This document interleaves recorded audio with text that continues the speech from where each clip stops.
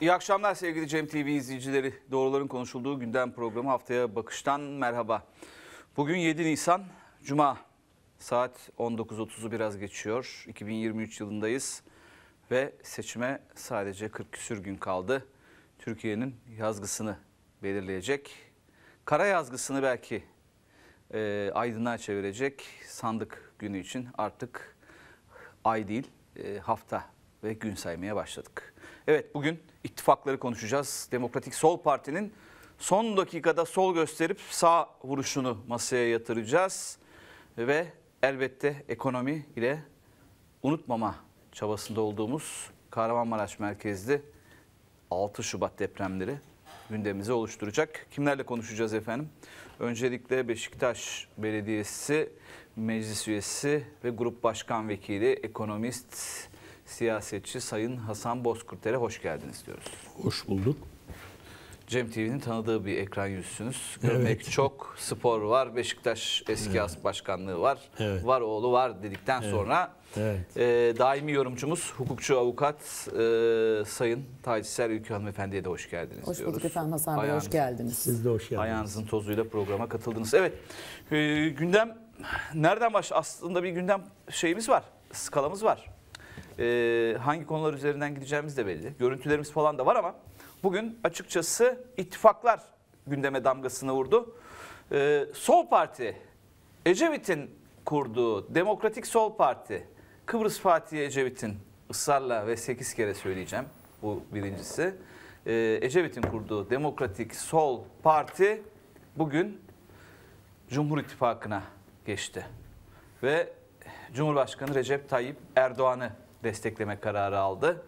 Önder Aksakal, geçen sene bu zamanlar bu stüdyolarda konuk ettiğimiz ve yaşanan e, hengameden, e, hengameye isyan eden, ver yansın eden Sayın Önder Aksakal bugün AKP Genel Merkezi'nde AKP'li yöneticilerle masaya oturdu, el sıkıştı. Bir de utanmadan şöyle bir açıklamalar yapılıyor. Önder bir tenzih ederim. Ee, ittifakın sol kanadı. Sol bu kadar ucuz değil dedikten sonra ben e, siyasetin yıpratamadığı isim Hasan Bozkurter Beyefendi'ye dönüyorum. Ne diyorsunuz?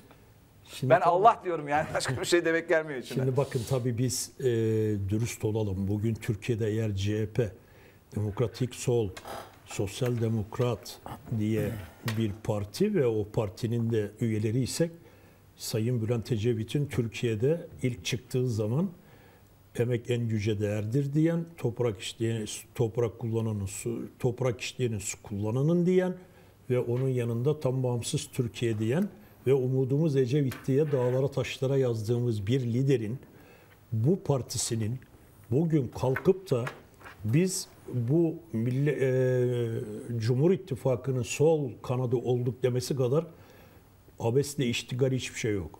Şimdi ben buradan Sayın e, Önder Bey'e söylüyorum. Arkadaş biz Ecevit'le bu mücadeleyi DSP'de yaparken sen neredeydin? Biz %22 ile partiyi başbakan yapıp iktidarın or- baş e, birinci partisi olduğumuz zaman sen neredeydin?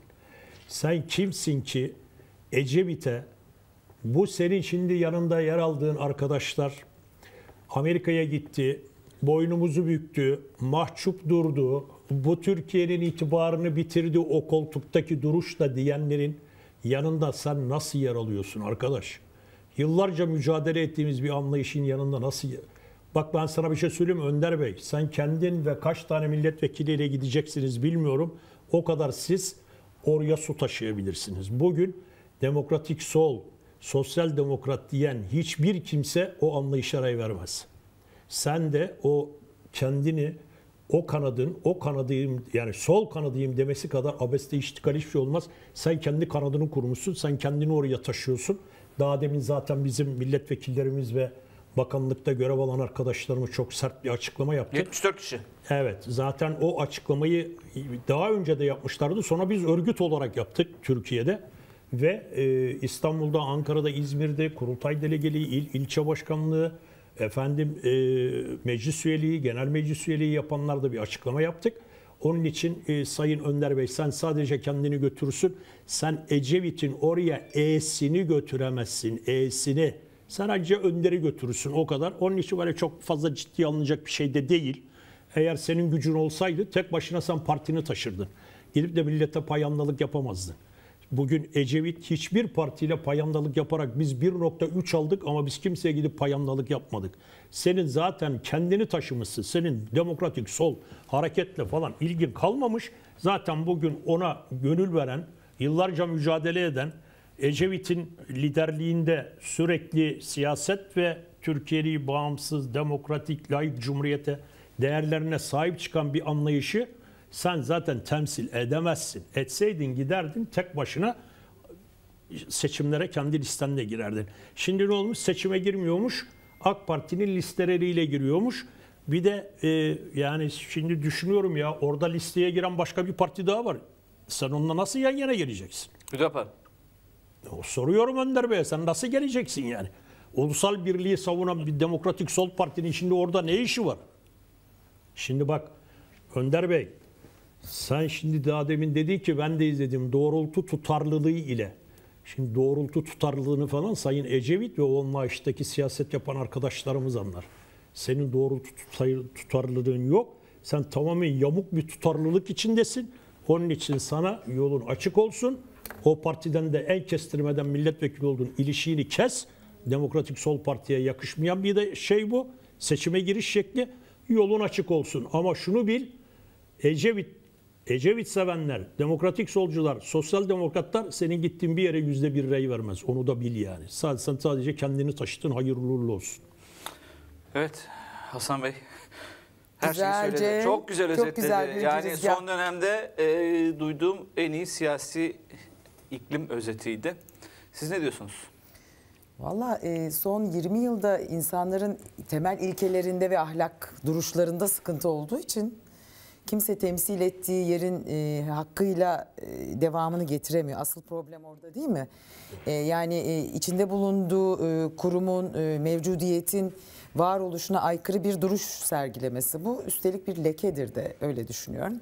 Ama söylediğiniz gibi gerçekten e, demokratik sol düşüncesinde olanlar ve Sayın Ecevit'in arkasından gidenler e, böyle bir e, duruş bozukluğunun da peşinden gitmeyeceklerdir. Mümkün değil. E bu e, rüzgara göre eğilip yamulup dikelmektir. Bugün e, oraya gider, yarın başka yere gider. E, halk bunu görecektir, sağduyuludur. E, yanlış, anlamsız ama belli ki bir menfaat var. Yok söylüyorlar zaten canım. 3-4 tane milletvekili aldık diyorlar yani. Pazarlık öyleymiş. Pazarlıklar yapılmış yani. Tabii tabii. ya. Hay- Hayır ben şimdi şeyde duydum, radyoda duydum. Yani gelirken arabada duydum. Evet yani. bir pazarlık var da. Ya Hasan Bey sizin söylediklerinizden yalnız yola çıkarsak herhalde milletvekili adayı olan beyefendi veya hanımefendilerin eş, dost, çoluk, çocuk O kadar. onların bile vereceğine şüpheliyim bak o kadar. Yani ben eee, ailenin onları destekleyeceğine inanmam. Çünkü eee, Türkiye'de bugün hepimiz eğer sol, demokratik sol, sosyal demokrat olduysak rahmetli Bülent Ecevit'in liderliğinde Muhakkak. olduk. Onun için kimse Ecevit'i inkar edemez. Kimse Ecevit'in Türk soluna verdiği katkıyı inkar edemez. Ve Türk solunun gelmiş geçmiş Atatürk'ten sonra kendi partimizdeki en büyük lideridir. İsmet Paşalardan sonra en büyük lideridir. Onun için Önder Bey sadece kendini göndermiş güle güle gitsin. Ee, ve hiç kimse onun arkasından gitmez. Şimdi Evet. aslında böyle yanlış yapılan hamleler kendi içinde bombayı altına koyup pimini çekme eylemidir. Kendini yok etmedir aynı zamanda siyasi kimlik olarak. E tabi yani bunu DSP'liler unutmaz. Yani çünkü DSP 1.3 aldığı zaman hiçbir kimsenin payandası olmadı. Direkt çıktı Ecevit. Bir Ecevit yani bu. 1.3 aldı. Ağzımızı açmadık. E, biz ne dedik? Egemenlik kayıtsız şartsız milletindir dedik. Halkımız bizi böyle tercih etmiştir dedik. Ve %22'den 1.3'e düştük. Ağzımızı açmadık. Siyasete devam ettik. Yani şimdi burada illa ben bir yerlere gideceğim diyorsan payandalık etmeye gerek yok. Eğer sen kendi ideolojin ve ilkenle hareket edecekseydin dün size gelen Sayın Kılıçdaroğlu'yla hareket etmeniz lazım. Ki öyle de bir sinyal verdi. Yani hatta sosyal medyada kutladık kutladık da bakın yani şu çok eleştirdiğimiz kızdığımız kulakları da çınlasın buradan. Ayrıca ben de çok severim. Mustafa Sarıgül hiçbir pazarlığa girmeksizin ben Kılıçdaroğlu'nun arkasındayım. Bütün parti örgütümle de Sayın Kemal Kılıçdaroğlu'nu destekleyeceğim dedi. Yani şimdi Sarıgül'den de mi ders almadı bilmiyorum Şimdi yani. sevgili Arif, şimdi tabii Cumhuriyet Halk Partisi bir okul, bir yaşam, bir kültür, bir ahlak. Şimdi odur budur. Mustafa sonunda benimle birlikte gençlik kollarında siyaset Evet, yaptı. 18 Bir yaşında. Şişli'de canım. Hem de bedel Sanayi geldik. Mahallesi'nde bayrak taşıyan, Aynen pankart öyle. asan adam. Aynen öyle. Mustafa 30 Sarıgül kulağı açılmasın buradan da. girmiş bir arkadaşımız. Cumhuriyet Halk Partisi e, mecliste yani Türkiye Büyük grup başkanlığı e, konumunda görev almış bir arkadaşımız. Şişli'de belediyecilik yapmış arkadaşımız. Onu da kutluyorum. Bir tek kelime söyledi. Biz bu ailenin ferdiyiz. Anlayışımız aynı. Bizim de şu an babamız, büyüğümüz Sayın Kılıçdaroğlu'dur. Biz de evlat olarak onun yanındayız dedi. Herhalde bu başka birilere de gitti bu. Zaten Önder Bey zaten, zaten bizde falan ilgisi yok onu geç. Ama bir yere de oradan bir mesaj vardı. Ve yani bakın şu an Türkiye'de ayrılık zamanı değil, birlik zamanı. Bugün Türkiye'de birbirimizi itiştirme zamanı değil, birbirimize sarılma ve kavuşturma zamanı. Bugün eğer Türkiye'de ciddi bir şekilde yani Türkiye Cumhuriyeti kuruluştan bu yana devletin işte çivileri sallanıyor, vidaları sallanıyor, efendim yargı sıkıntıda, işte bu devletin e, liyakatsızlığı sonunda bu hallere geldik deniliyorsa burada bir dur demenin zamanı şimdidir. Orada şimdi bizim birbirimize öyle e, bilek güreşi tutacak. Yamuk yapma şansımız yok. Yok öyle bir lüksü de yok. Yani yazık sonunda bu yapılan mücadeleler e, Puset'teki çocuklar için, torunlar için, Türkiye'nin geleceği için bu mücadele yapılıyor. Yoksa Kemal Bey yaşını başına almış bir adam yani. Çıkar evinde oturur. Hep beraber biz de gideriz evimizde otururuz. Ama olay biz değil. Biz değiliz, doğru. Bu ülkenin Çoluk geleceği çocuk. için yapılıyor bu seçim. Onun için buradaki gençlere de benim e, bir önerim sakın çocuklar öyle yani birisi dans etti, birisi güzel konuştu diye. Erken sakın- pes etmeyin. Ha, yok öyle bir şey. Yani bu geleceğinizi çizin. Sonra gelip bize ağlamayın. Bu ülkede ne oluyor? Ben yurt dışına gidiyorum deme. Yurt dışına gitmemek istiyorsan gel ya o seçime sahip çık kardeşim. O seçim senin Türkiye Cumhuriyeti Devleti'ne sahip çıkma ve son 100 yılın en büyük seçimine gidiyoruz. Ondan sonra gelip de bana başkanım ben işsiz kaldım deme. İşsizliği eğer yenmek istiyorsan eğer sen bitirdiğin okulun karşıtını çalışarak elde edeceğin ücretle hayatını idame ettireceksen o sandığa git sahip çık kardeşim. Yoksa böyle yaldızlı yıldızlı laflarla gidip de kendini hiçbir gücü olmayan bu turda insanlara gidip reyini verme. Verme kardeşim verme. İşte aslında 20 yıldır e, asıl bu topraklarda verilen zarar bence bu e, hücre yapısına çok zarar verildi. Yani ilkesizlik çok yerleşti. Asıl sıkıntı orada. Yine ekonomiye geçeceğiz az sonra mutlaka ama ekonomi, hukuk bir şekilde halledilir. Bu ahlak bozukluğu nasıl halledilecek e, oraları merak ediyorum. E gelecek dönem tabii yani şu an Türkiye'de toplumsal bir DNA bozukluğu var. Ahlaki yönden yani çok ağır, siyasi yönden çok ağır. Yani şimdi düşünebiliyor musunuz ne diye yapıldı bu sistem sevgili Arif? Her şeye hakim olsun. A, çabuk karar alsın, hızlansın. Hani Artı öyle şey aman yapıldı. aman koalisyon olmasın. Olmasın. Bizi koalisyonlar mahvetti. E, E, Şu anda bu durum çok daha bu koalisyoncuk oldu artık. Koalisyonu da geçti. oldu. 0.1 çift 0.1 bölü 2 bunlar şimdi bakanlık alıyor. Bunlar şimdi milletvekilliği alıyor. Bunlara ne sözler veriliyor. E ne oldu? O zaman gelin kardeşim Türkiye'de %7 değil %0'a düşür. Herkes çıksın kendi siyasi Tabii yapısı. seçim sisteminin değişmesi E tabii lazım canım, o, yani. Şimdi bir şey değişmedi ki. %7'ye düşürdün. 0.1'likte mecliste temsil ediliyorsa o zaman indir kardeşim. Kaldır. Kaldır, Diğerlerine de kaldır, haksızlık, kaldır, diğerlerine barajı de. kaldır. Demokraside baraj olmaz. Yık kardeşim. Ama adam yüzde bir mi alır, bir buçuk mu alır? Eh ona ne kadar düşüyorsa O kadar. o kadar temsil etsin. E şimdi aynısı oldu. Aynısı oldu. Bir de şimdi basbar bağırıyorlar. İşte e, Şimdi yüzde, askeri yüzde rejimin... 0.1 oyu olan adam milletvekili sokacak. Evet. Bakanlık pazarlığı Evet. yapıyor. Ama ne dediler? İşte askeri vesayetin getirdiği anayasada %10 barajını biz %7'ye indirdik. E %7'ye indirdi ama 0.1'e indirdik. Tabii, tabii, tabii. O zaman Uygulama, bırakın uygulama. bunu. Yıkın barajları. Sıfır şeyle e, oranla herkes temsil yeteneğini Yani parlamentoda 125 bin yapsın. oyu alıyorsan gir milletvekili. kadar, o Bağımsız da gir. O kadar, o kadar. De ya. facto bir durum yaratıldı. Yani, Kesinlikle. yani. Taciser Hanım size yine konu üzerinden gidiyorum. Ee, yönetmen arkadaşımızdan da rica edelim birazdan. Ee, az sonra e, aç karnına sandık başına diye bir çalışmamız var. Onu rica edeceğim ama az sonra. Şimdi Demokratik Sol Parti'de e, Hasan Bey'in değerli konumuz Hasan Bozkurt'un ifade ettiği gibi 74 tane DSP'ye DSP kimliğini kazandıran Ecevit'ten sonra isim. Biz asla bu karara uymuyoruz. Biz Kemal Kılıçdaroğlu'nu ve Millet İttifakı'nı destekliyoruz diye açıklamayı yaptılar. Aynı saatlerde DSP'nin şu anki seçilmiş e, ve atanmış kadrosundan Onur İste Beyefendi, Demokratik Sol Parti Genel Başkan Yardımcısı istifasını verdi. İstifa gerekçesi de şu, çok nazik bir metin yazmış. Ben partimizin olduğu yerdeyim diyor. Yani diyor ki parti başka bir tarafa gitti. Bilmiyorum yorumunuz ne? Onur İste buradan da kutluyoruz Onur Bey'i. Şimdi aslında ş- az önce konuştuğumuz konuyla ilgili değil mi tam da bu? Bir duruş bozukluğu yaşanıyor bütün partilerde ve bütün insanlarda. Ee, beyefendinin istifa gerekçesi partinin endazesinin şaştığının açık kanıtıdır. İstifa da bu manada anlamlıdır.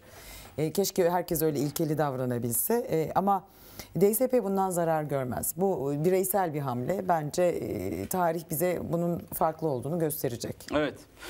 Ee, bir çalışmamız var. Yönetmenimizden rica edelim. Ufak ufak e, ekonomiye de ekonomiye de geçeceğiz. Efendim e, geçenlerde e, sanayi odaları, e, üreticiler, ekonomistler bir tablo açıkladılar. Türkiye'de genel müdür yardımcıları dahil bütün memur kadrosu. Bakın genel müdür yardımcıları dahil. E, asgari ücrette çalışanların hepsi Emeklilerin yüzde 95'i yoksulluk sınırında. Bu saydığım grubun dörtte üçü de açlık sınırında yaşıyor. Yani aç karnına sandık başına gidecekler. Bir daha rica edeyim o görüntüyü yönetmen arkadaşımızdan. Efendim aç karnına sandık başına. Soğan olmuş 30 lira. Fasulye gözlerime inanamadım. Reklama girmesin birazdan slide kayar. Ee, 139 lira. Ee, bu ne olmuş bakayım 25 lira. Yarım kilo ama bakın dikkatinizi çekiyorum. Tabii ki. Oralarda bir de şey de olacak. İsmini getirin. Biber. Dolmalık 50 biber. lira. Kilosu, yarım kilosu 25 lira. Yani Türkiye'yi yarım kilo almaya mahkum eden bir zihniyet ve e, pazarda ezilen bu fiyatlar altında kalan ben gözümle gördüm. Caddebostan alım gücü yüksek bir yer. Mağazada Migros hadi bir kere söylemekten reklama girmez. Yanımdaki beyefendi iyi de giyimli bir beyefendi 250 gram kıyma aldı. Çekine sıkıla 250 gram bana tartar mısın dedi. İçinde, ben- içinde bulunduğu durumdan Ben aslında hiç yerlerin dibine değil. girdim. Yani yerin dibine girdim. Ee, şimdi ittifak yapan, bu garip ittifak yapan tarafa önerim soğanı alsınlar. daha çok konuşuluyor yani daha popüler. Şimdi e, Sayın Önder Aksakal'a e, hakaret etmiyoruz burada. Asla zinhar e, konuğumuzda oldu geçen sene. Ama yani soğan ne bileyim domates, patates, et, sütü bir tarafa koysanız uzak ara kazanır. Bilmiyorum Nasıl yani olacak Hasan. Bey nasıl olacak? Nasıl yorumluyorsunuz yani ekonomik duruşu? bu e, yükselen rakamlar bir stabil hale gelip inecek mi? Nasıl öngörüyorsunuz? şimdi Çünkü herkes çok merak yani ediyor bunu. 8'e kadar e, 8 dakikamız var. Reklama gideceğiz. Reklama gitmeden evvel şu ekonomik yangını bize anlatın. Çünkü Bak. bildiğim kadarıyla e, belediye meclis üyeliğinde de aktif görev alıyorsunuz ve Evet. e, karnı acıkan belediyenin kapısını çalıyor bu aralar doğal olarak. Diyelim. Bakın Buradan ben- da Rıza Akpolat'a selamlarımız olsun Sayın Başkan'a. olsun. Şimdi e, biraz bilgi geriye çekelim mi? 2002'den gelelim mi? E Gelelim. tabii. Gelelim. Nereden nereye geldik? Top size efendim istediğiniz Bir gibi. sürün. kronoloji önemli Yapacağız. bence burada. İster bounce pass atın ister Evet. fast break yapın. Şimdi bakın 2002 yılında büyük iddialarla gelenler o zaman bizim enflasyonumuz %29.7. 29 mu?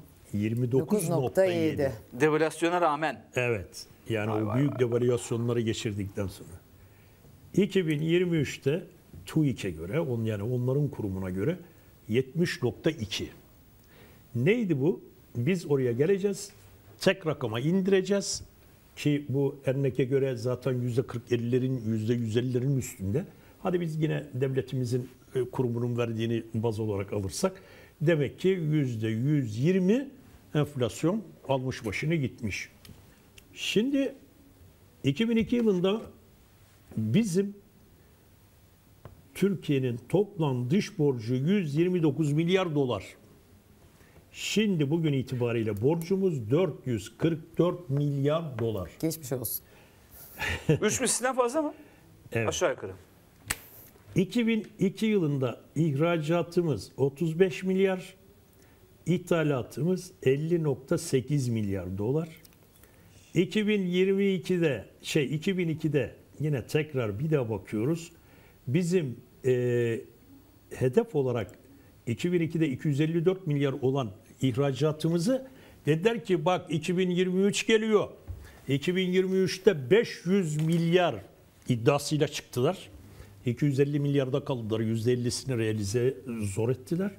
Ve bunun yanında da 500 milyar denilen ihracattaki totalimiz olmadı. Bunları niye söylüyoruz? Yani vatandaşımız denilenle yapılanı bir görsün. Aslında rakam rakam belirtmek bu manada. İşte Evet, onun için söylüyorum. ben. Kulak Yani. kesildim dinliyorum yani. Ben bir iki rakama ha- hakimim. Diğerlerini şaşkınlıkla dinliyorum. Lütfen Tabii. devam edin Sayın Bozkurtar. Bakın 2002 yılında dolar 1.44 1 lira 44 kuruş. İki- 2002'de euro 1.20 kuruş. Şimdi dolar 19.25, euro 21.01. Yani şimdi bunları aldığınız zaman bunun ne artık oranı var ne bilmem nesi var. Ne denildi? Geçen seçimleri iyi hatırlıyorum. Bu kardeşinize dedi verin yetkiyi. Gör etkiyi. Bak dedi göreceksin dedi devalüasyonla nasıl mücadele edilir, enflasyon nasıl mücadele edilir, faizle nasıl mücadele edilir. En sonunda geldiler dedilerdi ki faiz ve sonucu enflasyon dediler. Şimdi faize bakıyoruz. Enflasyonun çok çok altında kaldı. Enflasyon aldı başını gitti. Enflasyon şu an serbest bırakıldı. Nas nas dediler. %16'ya çektiler. Şimdi bankalara gidiyorsunuz hanımefendi. Serbest. Anlaşabildiğiniz kadar rakamla faiz. Oynatabiliyor, Tabii ne oynuyorsunuz. oldu? Nas ne oldu? Ne ev satılıyor ne araba satılıyor. Yani arabayı satıyor alıyor insanlar. Mümkün Ama değil. onun dışında Kimse hiçbir şey alamaz. alamıyorlar. Kimse alamaz. Kredi çekemiyor ki kimse zaten. E, vermiyor ki bankalar zaten kredi vermiyor. O krediyle bakın ben size bir şey söyleyeyim. Bugün bireysel kredi bankalarda yüzde 46 civarında. Bunu kimse ödeyemez. Tefeci faizi gibi bir şey. İki nokta buçuk. E yani çıktı. işte 12 ile çarpalım. 3'ü çarpsak 36-39 yapar. Bir daha gidelim ortalama 3.75-80. Aylık bu ya. Bunu kim kimin canı yeter Ne ya olacak buna? peki? Ya bunun olacağı şu. Türkiye üretim yapmadan hiçbir şey yapamaz. Türkiye ihracat yapmadan hiçbir şey yapamaz. Türkiye turizmde girdisi olmadan hiçbir şey yapamaz. Yani hizmet sektörüyle imalat sektöründe biz patlayamazsak ben e, bu şeyin yapının aynen böyle devam edeceğinden Aslında yanayım. e, istikrarın e, geri gelmesi, adaletin daha e, eskisi gibi olması diyeyim, biraz daha yumuşak gideyim. E, dışarı çıkan yatırımların tekrar içeri girmesini sağlayacak ve ekonominin tekrar dikelmesine etki edecek mi? Şöyle ki eğer sizin burada Türk ticaret hukukunun elindeki yasaları, Türk e, ticaret hukukundaki yasaların bireysel olarak birilerinin lehine, birinin aleyhine, özellikle yabancı yatırımcıya güvence vermiyorsa, bugün eğer bizim yurt dışına sermayemiz çıktı deniliyorsa, biz buradaki yasalarla yabancı sermayeye güvence veremedik. Şimdi yasalarda aslında bir problem yok. Bütün yayınlarda bunu ko- konuşuyoruz. Uygulamada problem var Hasan Bey. Zaten bence e, Millet İttifakı 14 Mayıs'tan sonra sistem değiştiğinde, parlamenter sisteme özellikle geçtiğimizde bence e, bütün kadrolar da bir revize edilecektir muhtemelen. Tabii tabii. Yani Çünkü o keyfi uygulamalar, adli sistemdeki keyfi uygulamalara son verileceğini iddia ediyoruz zaten Millet İttifakı olarak. İstikrar yerini bulduğunda bence benim kanaatim dış güç şey e, dış yatırımlar tekrar geri gelecek. Gidenler tekrar geri gelecek değil İşte mi? onu yasal olarak güvence verirseniz ama siz şimdi kalkıp da bankalara höt höt derseniz İşte o bitecek ya şimdi artık bunu yani. yaptığı zaman bu yabancının parası burada bankada evinde değil ki kasasında da değil yani.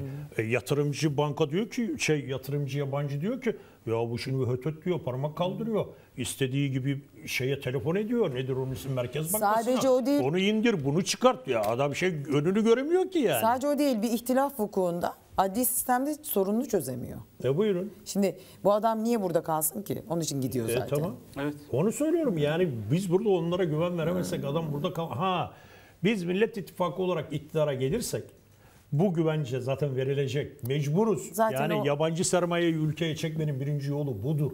Ama siz burada belli insanlara vergi muafiyeti yaparsanız, Şahsiyet cezalarını silerseniz, liyakatsiz adamları getirirsiniz. Ya da kişiye özel kanun çıkarırsanız Evet, bir gecede. Yani böyle bir şey olur mu? Yani şimdi TÜBİTAK'ın başına e, Ankara Hayvanat Bahçesi'nin müdürünü getirdiler. Şimdi neyi Getirirsen kadar konuşacağız ki ya? Doğru. Neyi kısa, konuşacağız ki? Kısa bir reklam arasına gideceğiz. Ee, ilk bölümde Demokratik Sol Partisi'nin e, Cumhur İttifakı'nın güya soluna geçişini konuştuk ve ekonomiye hafif bir giriş, ekonomiye giriş bir, ekonomiye giriş iki dersleri vardır.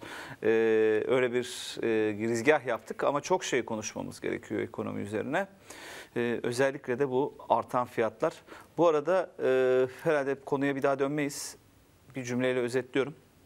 Ee, biliyorsunuz Cumhurbaşkanı Recep Tayyip Erdoğan beyefendi Bülent Ecevit'i yıpratmak isterken en çok Clinton'la olan fotoğrafı üzerinden e, gitmişti, vurmuştu.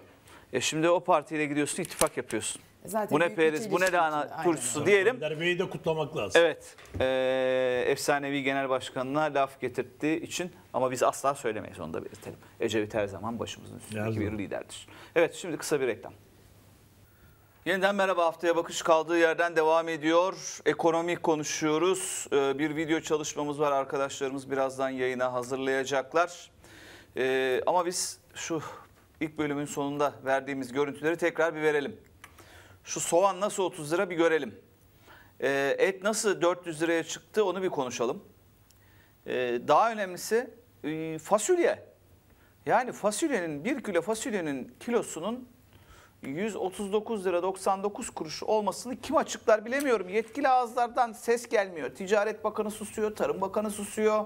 Her konuda görüş belirten Sayın Cumhurbaşkanı her konuda görüş belirten biliyorsunuz bir ara araba camlarına bile takmıştı. Ee, araba cam, renkli araba camlarını iptal ettirmişti.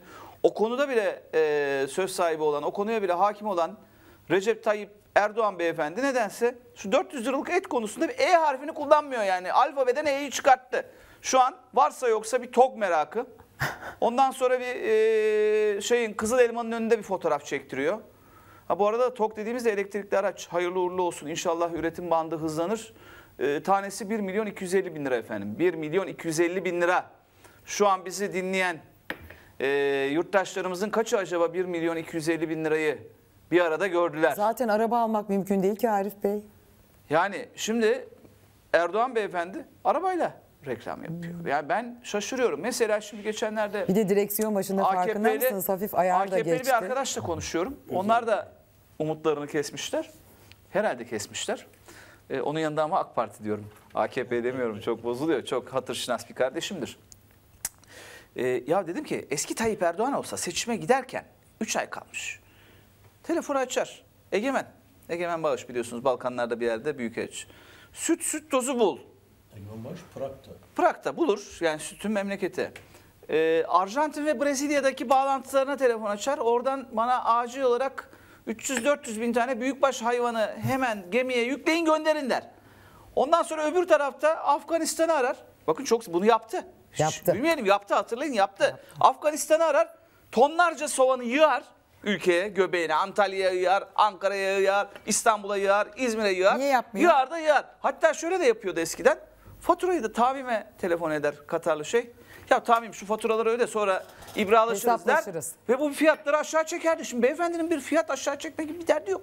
Bunu neye bağlıyorsun? Gündemi farklı herhalde Yani ya kaybettiğini Gündemi farklı. bakın istediği kadar şey olsun. Ee, sandığa gider tok alanlar sandığa gitmeyecek. Onlardan çok daha fazlası soğan alamayan. Bence 30 içte bir yerde kaybını, kaybının gidecek. farkında ve kaybedeceğini farkında ve kabulde.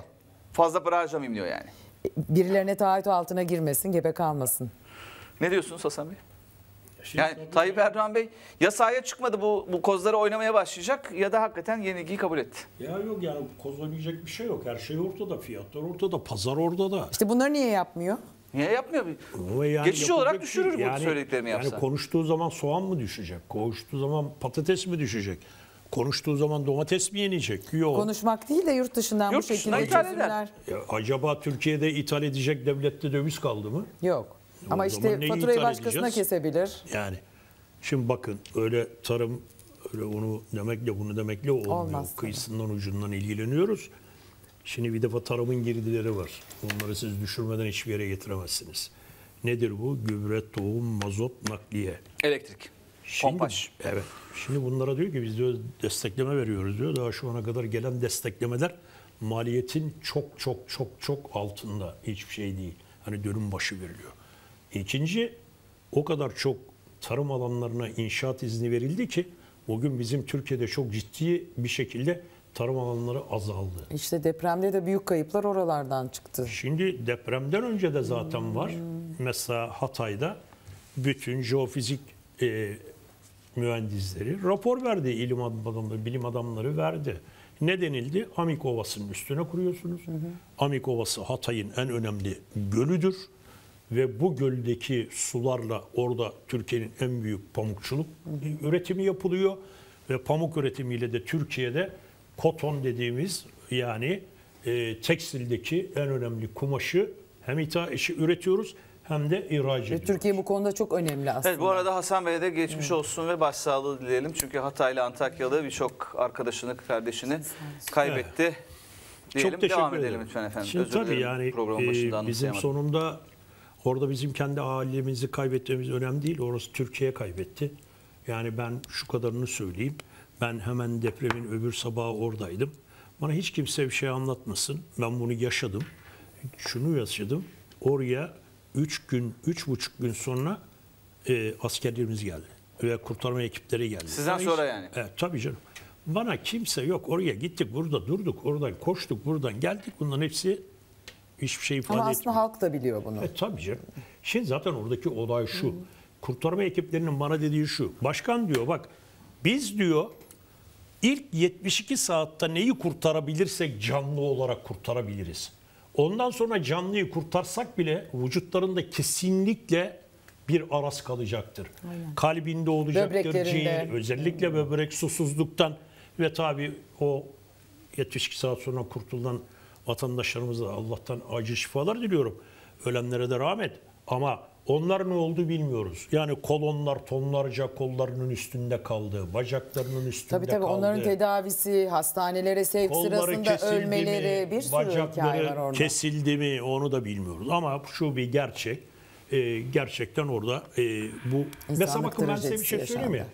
Türkiye'deki bu doğal afetlerden korumak için ilk önce Türkiye'yi AFAD'dan korumak lazım. Yani AFAD'ı korursak biz doğal afetle mücadele edebiliriz. Çünkü AFAD'ın oradaki İskenderun'daki başkanı bana geldi dedi ki başkanım dedi. Sizde de dinleme cihazı var mı dedi. Kafamı dedim ki arkadaş sen yanlış anladın galiba. Biz kurtarma ekibiyiz ama yani bu sayı bizde belli. Siz afatsınız. Sizde yok mu bu? Gitti. Şimdi orada bir şey oluyor. Ben ona çok üzüldüm. Mesela bizim e, kurtarma ekibimiz var. Biz orada 40 tane vatandaşımız kurtardık. Biz Beşiktaş Belediyesi olarak orada e, karargah kurduk. E, çok Hangi ilçede? Efendim? Hangi ilçe? İskenderun. İskenderun. Ondan sonra benim e, çok saygılı bir dostum, benzin istasyonu sahibi Kazım Bey, oradan selam olsun ona. O bize yol şey yaptı, e, Alan alanını açtı. E, şimdi böyle bir şey olur mu? Bizim çocuklar tam e, kurtarıyoruz, biz aşağıdan seyrediyoruz, bir canlı geliyor. Birileri ilk önce fark edemedik. Bir gürültü, bir patırdı, açılın biz geliyoruz falan. Aa, as afatlılar ya böyle bir şey Şimdi olmaz şöyle, ya. yani Ha, bir iki olunca ben onları Yaralıyı da sahiplenip pazarlama ve reklama döndürme Ama durumu. cansız gelen bedenlerde yoklar. Yok. Canlı olan da bir itiş, bir kakış, afat, mafat, bağırtı, Şey gürültü, biz bizi kurtardık. çekin. Tabii Biz tabii aynen. Ya bunlar ya gerçekten Küçük ve basit orada üzücü Evet şeyler yeniden hatırladık ama e, unutturmamamız gerekiyor. Bu Yok. arada e, ben Sayın Cumhurbaşkanı'nı e, gazetecilik, eleştirmenlik babında şurada eleştirmek istiyorum Hasan Bey'in görüşlerini dinledikten sonra. E, 11 belediye dedi CHP'li büyükşehir nerede bunlar E, gören var mı falan dedi. Ben il belediyelerini saymıyorum bakın. Hani Ankara'sı da koştu, İstanbul'da koştu, İzmir'i koştu, Konya'sı koştu. Bir şey demiyoruz, Kayseri'si. Ya gariban, Beşiktaş Belediyesi, ilçe, gariban, Kadıköy Belediyesi. Yüz, yüzlerce canlıyı çıkardı yerin altından. Afyon Belediyesi. Maltepe, Onlarca Konya, Maltepe, Kocaeli. Sarıyer. Ya burada belediyenin ismi olur mu ya? Ya böyle bir Çok şey ayıp ya. Yani? Şimdi Yani- size bir şey söyleyeyim mi? Sayın Cumhurbaşkanı'nın şöyle bir şansı var bence. O konuda gerçekten ballı. Bu ülkenin insanın yardım... Mecazi kullandık diyelim efendim. Tabii ki mecazi. Yardımsever olması onun işini hafifletiyor. Sistemin de işini hafifletiyor. Çünkü oraya ciddi bir insan e, yardımı aktı. Bunlar kurtardı aslında oradaki e, problemi çözdü diyebilir miyiz? Belediye de aynı şekilde. Şimdi hanımefendi, Çözülen bir problem yok o ayrı da. Olay ne biliyor musun? Türkiye Cumhuriyeti Devleti'nin kırılmaz olan kolonu bu ülke halkının devletine olan bağlılığıdır. O kadar. Bu bağlılıktır oradaki omuz omuza getiren. Orada istedikleri kadar ötekileştirici siyaset Kafa kafaya yapanlar, vurdursunlar. Tabii onlar ki bunlar aşmış. Bu halk bunu aşmış. Bunu gördük. Gittiğimiz yerlerde o Kürttür, bu Alevidir, bu Sunnidir, bu şudur, bu budur diye Asla. yardım etmedik. Kendi insanımız, bu toprakların insanları diye müdahale ettik. Ve çıkarttık, defnettik, hastaneye gönderdik, tedavi ettirdik. Yani ne gerekiyorsa Ama ayırt gıda etmek zaten insanlık Olur mu? dışı bir şeydir Olur mu? O yani. insanlık dışı bir şey. İşte onun için diyorum ki anlamayanlar anlasın. Bu halkın feraseti hiç kimsede yok.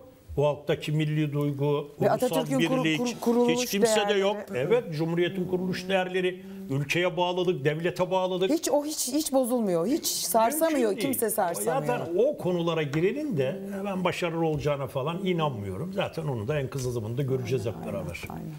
Evet Taçser Hanım da deprem bölgesine sıkça gitti geldi o dönemde e, anlattıkları e, kanımızı donduruyordu.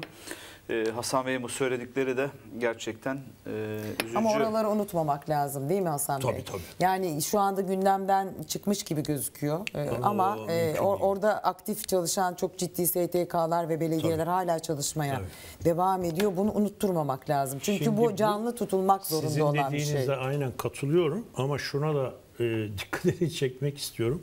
E, Türkiye'deki İnşaatçılar Odaları Birliği Başkanı'ydı galiba yine biraz önce e, izledim.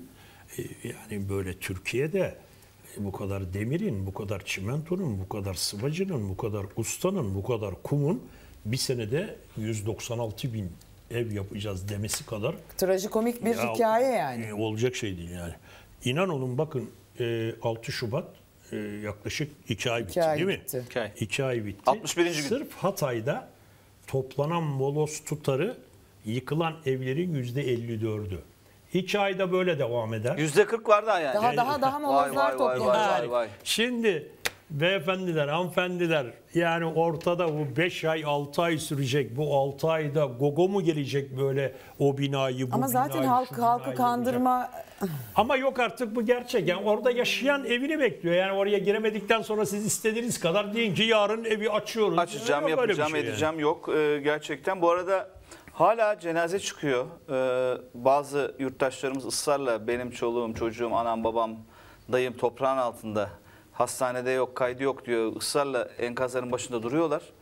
Ve iş makinalarıyla kazı yapılırken cansız Parçalanmış insanların bedenlerine parçaları, parçaları. bedenlerine ne yazık ki ulaşılıyor. Bu da başka bir ayıp.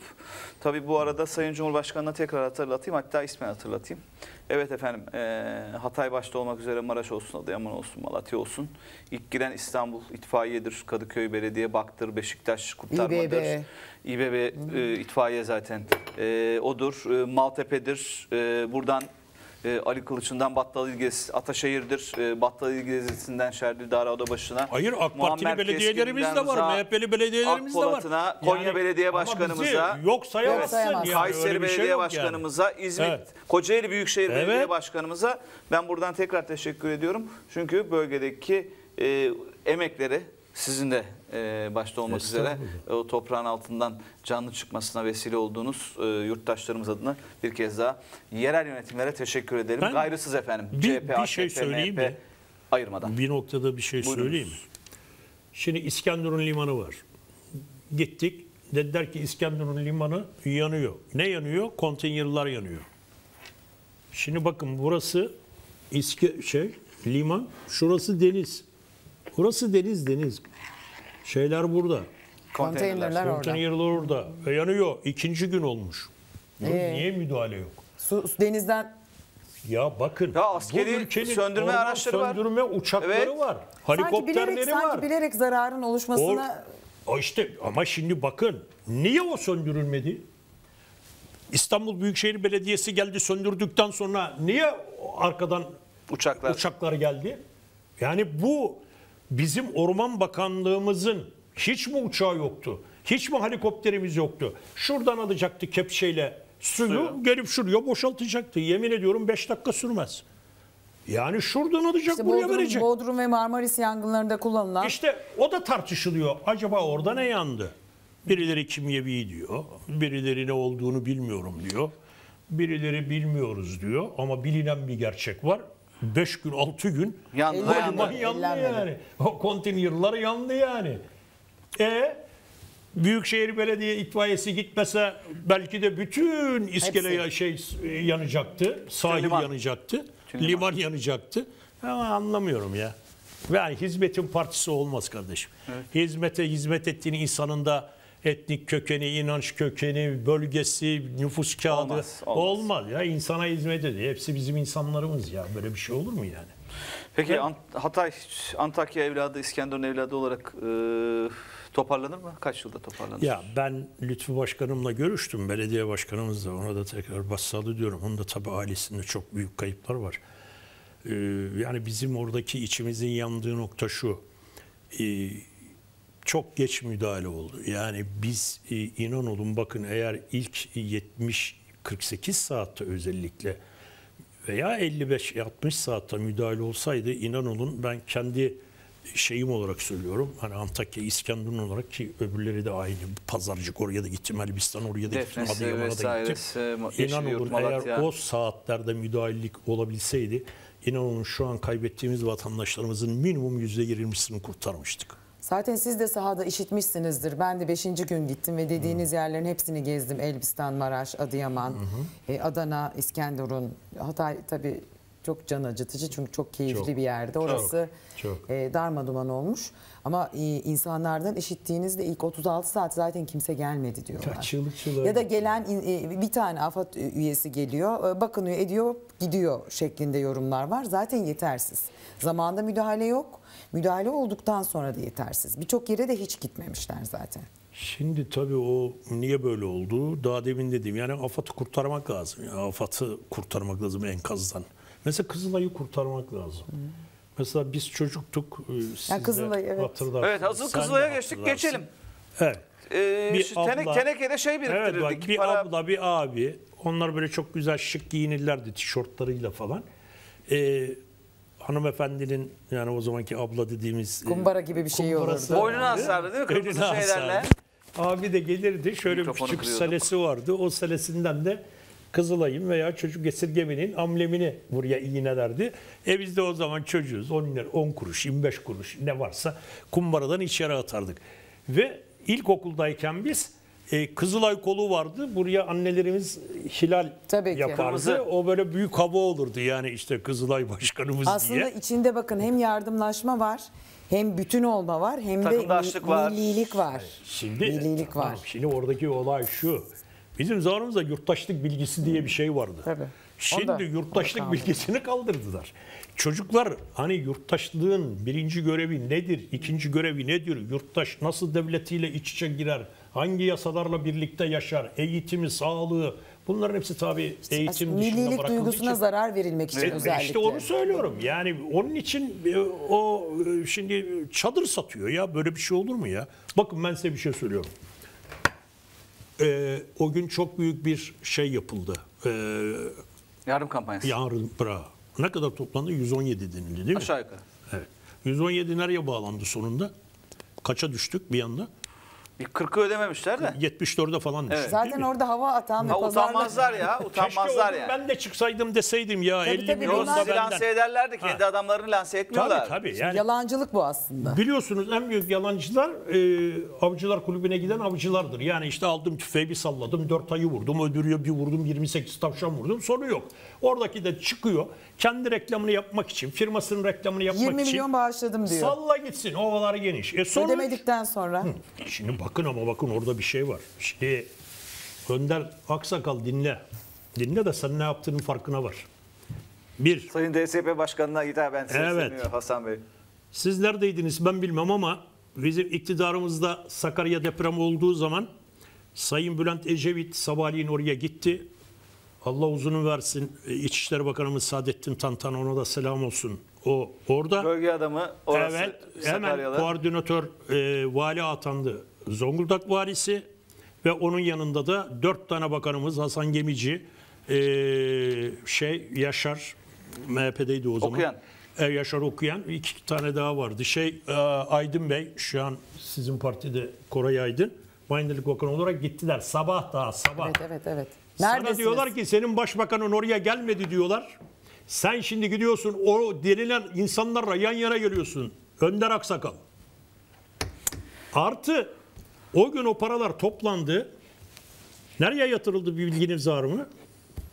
Ecevit'in zamanında bu paralar önce Ziraat Bankası'na arkadan da eee hazineye. Çünkü legalize o izin resmileşmesi gerekir. Hazineye gittiği zaman para 3 ayda bir rahmetli Bülent Ecevit hem Başbakanlık teftiş heyetini hem Maliye Bakanlığı teftiş heyetini 3 ayda bir faturaları kontrol ettirmek, harcamaları kontrol ettirmek için gelip teftiş ediyordu. Kimi hazineyi, hazine olduğu için. Şimdi kim?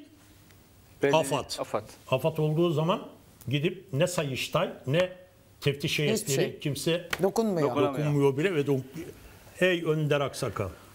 Nerede Bunları durduğuna bil, bir bak, bak. Sen bilmiyorsan öğren öğren. Lan da Ecevit'ten haberin yok senin. Evet, şimdi Kızılay'la madem devam edelim. Ee, Kızılay'a kan bağışları düşmüş ve ülkede şu an kan sorunu var. Allah gecinden versin, göstermesin. Sürpriz bir savaş yaşasak. İkinci bir deprem faciası yaşasak kan yok ülkede biliyorsunuz. Stoklamamız lazım. Stoklar bitti. Ama- Yok çünkü niye? İnsanlar güvenmiyor. Kime güvenmiyor? Hasan Bey veya Arif Bey veya Tayyip Senan'a güvenmemezlik değil. Kızılay'a ve Kızılay'ın başkanına Onu da güvenmiyor. satmışlar ya. Evet kınık, Öyle bir doktor, şeyler- Zaten Kerem Kınık. Türk Kız, Kızılay'ındaki Türk kaldırıldı Ve en başta. adamcağız ne yapıyor? Gündemi de ne biliyorsunuz değil mi? Kulakları çınlasın Şahan Gökbakar'la kavga. Vay efendim sen Recep İvedik filminde aslında böyle yaptın. ya o mizah o film film. Yani bu ülkede nasıl tıp bitirmiş Hasan Bey? Bu Kerem Kınık doktor baktım. Tıp Vallahi doktoru. işte Uzmanlığı da var. Ya bilen bu de adam yok yani. tıp fakültesine nasıl girmiş? Nasıl bitirmiş? Yani bilmiyorum o Kerem Kınık Bey'i mezun eden tıp fakültesinin hocalarına da yazıklar olsun diyorum. ben. İstanbul'dan Başka mı? da bir şey Türkiye'den demiyorum. mi acaba? Bilemiyorum Bir de nereden. böyle artık Avrupa'da bazı küçük ülkelerde de tıp Tataristan. Mataristan'da aldıysa onu bilemem. Neyse e, konular birbirini kovalıyor. Siyasete dönelim yeniden. Dönelim. Dönelim mi Taysel Hanım? Dönelim dönelim. Bizim pazar günü karşı çok bir...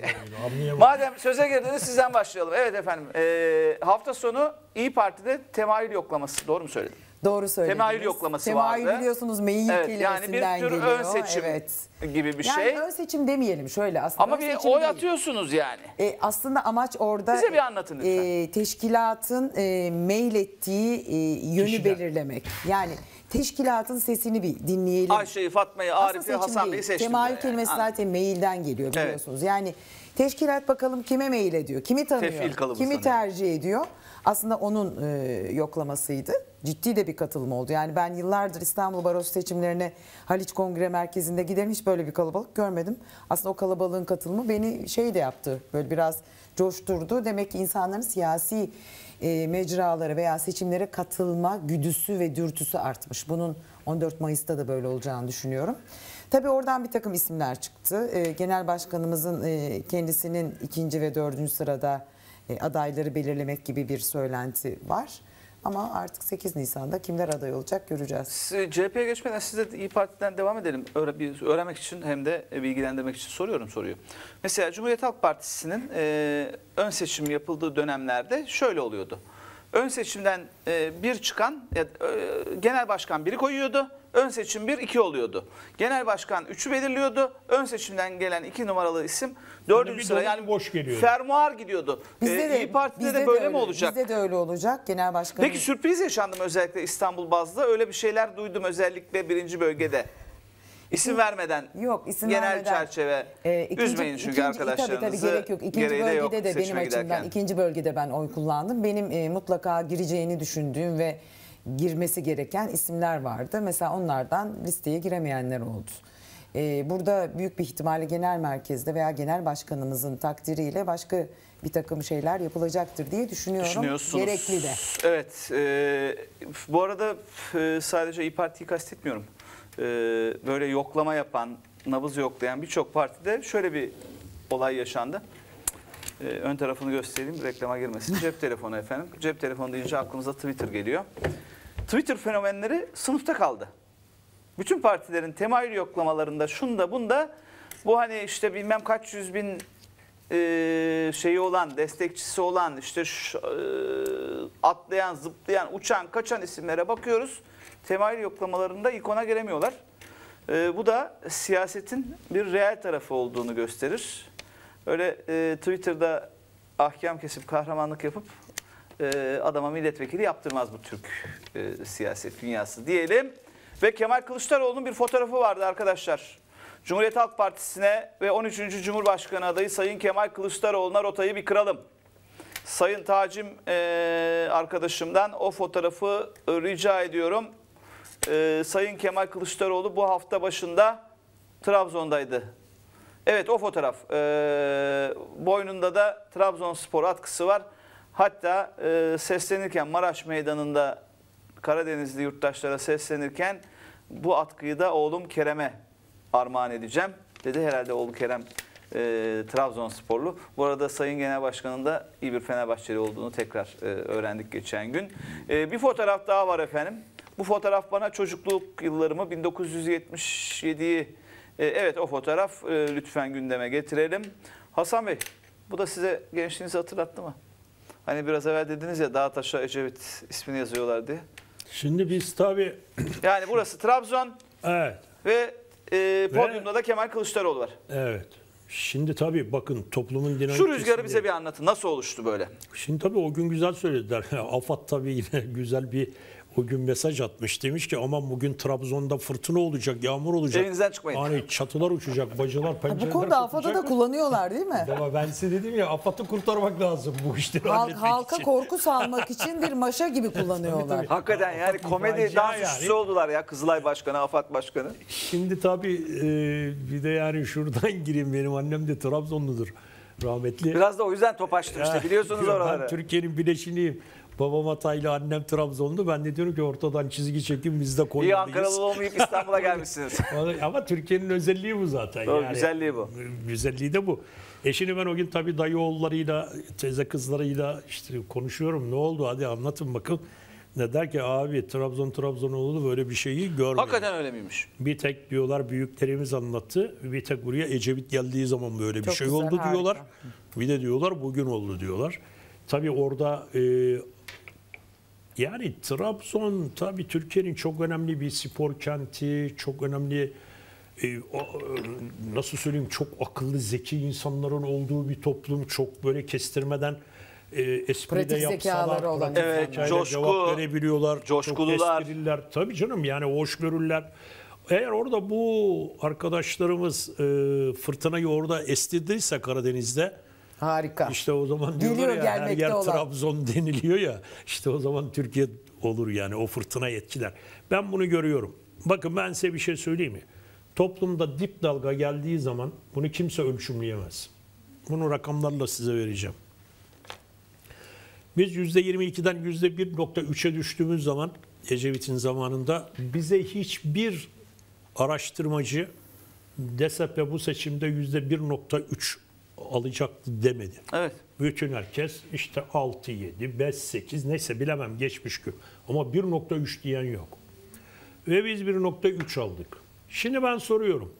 1.3'e düşürülmemizin gerekçesi neydi? Esnafın bir tanesi geldi. Başbakanlığın önünde o kadar demokrat bir insandı ki Sayın Ecevit yoksa onu da Engellemedi. korumaları vardı, 3000 5000 kişi attı e, kasayı. Yazar kasa, hoşgörüyle evet. Karşıladık. Bankalar çok ciddi kriz geçirdi. Ekonomik kriz tam patladı ve onun üstüne biz 1.3'e geldik. Geliyoruz İstanbul seçimlerine en son 4 sene evvelki seçime. 13 bin sayıyla seçimi kazandık. İşte 3 tane yani dünyada olmayan bir garabet bir karar alındı. 3 tane geçerli, bir tane geçersiz deyip Ekrem Başkanı iptal ettiler.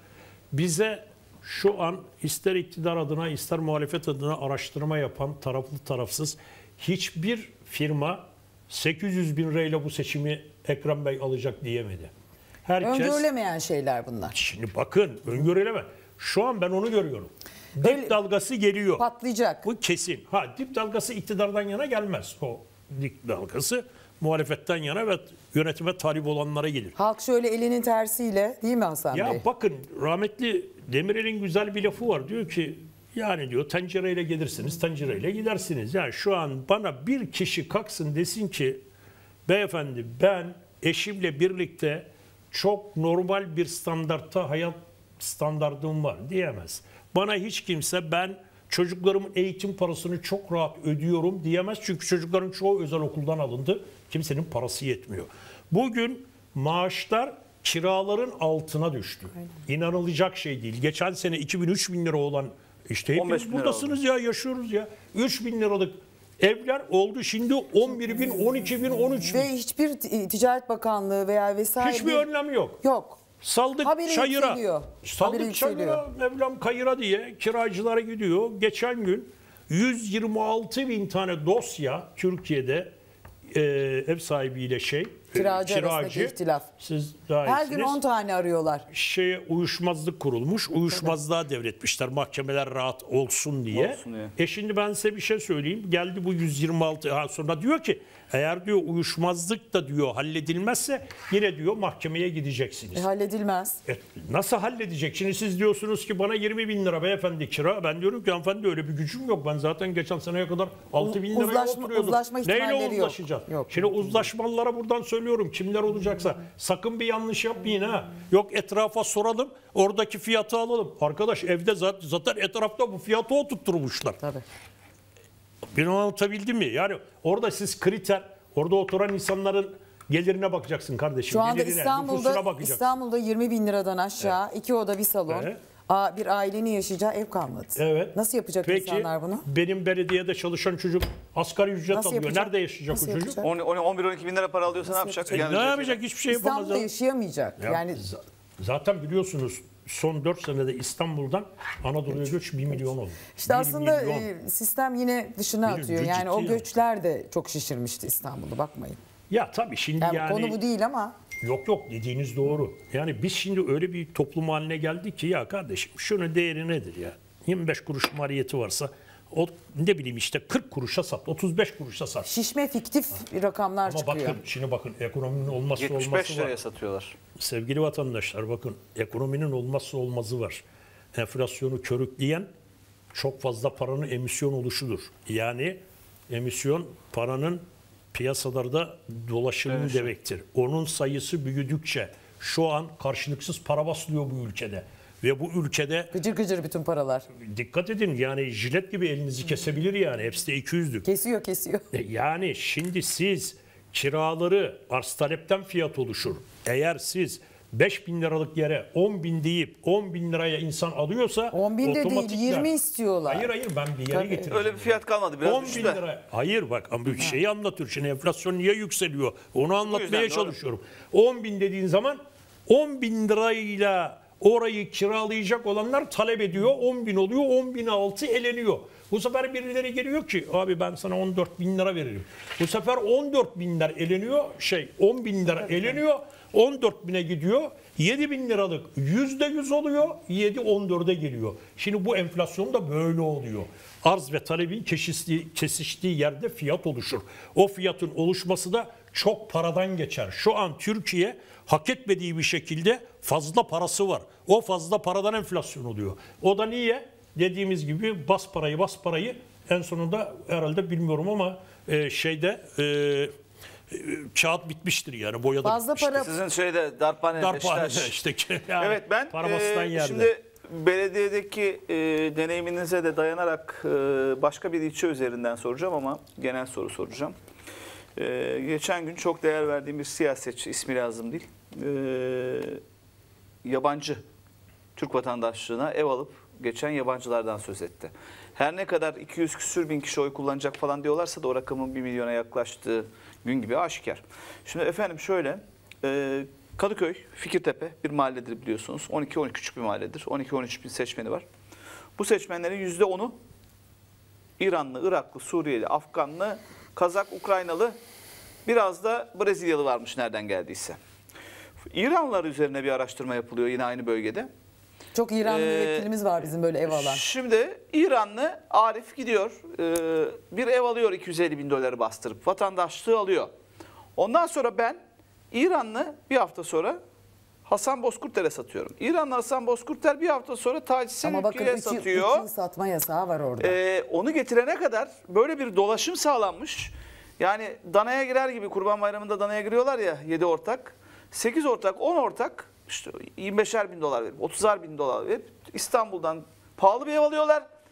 7 sülalesiyle Tapuya ortak oluyorlar. 7 sülalesiyle vatandaşlığa geçiyor ve şimdi o insanlar oy kullanacak.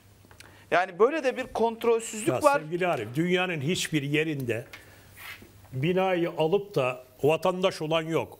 Evet, yabancıya mal satılıyor ama sadece oturma izni veriliyor. Bu bizde bu ya. İhale gibi böyle bir şey olur mu ya?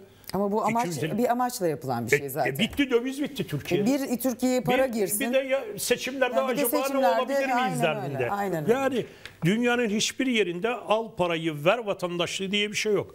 Al parayı ver evi ama kullanım hakkı var. Vatandaşlık verilmiyor yani. Oturum veriyor. O kadar. Ya bugün bizim nüfusumuz kaç para, kaç milyon oldu? Vallahi İstanbul'un 90'ları 20, geçtik. İstanbul'un 21 olduğunu 90'ları biliyorum da. geçtik. Hani 16 diyorlar ama 21 E İstanbul. şey seçmen 64 milyon deniliyor. E 4 sene evvel bu 54-55 milyondu. Ne oldu 10 milyon arttı. Yüzde 15. Yani ben anlamıyorum. Yani bu Türkiye'de bu nüfus nasıl oldu da bir anda böyle patladı gitti. Siz biliyor musunuz Türkiye'de doğum oranının düştüğünü? Evet. Doğum oranı düşmüş.